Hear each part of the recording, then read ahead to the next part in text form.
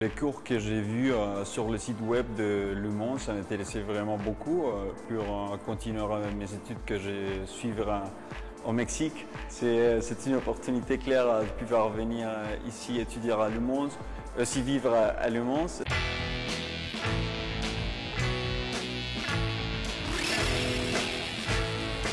L'université a un très haut niveau dans le domaine professionnel et aussi l'opportunité de pouvoir vivre à la ville de, de Mons. Ça me donne la, chance de pouvoir y aller à plusieurs endroits qui sont aussi euh, culturels et, profiter de l'Europe aussi.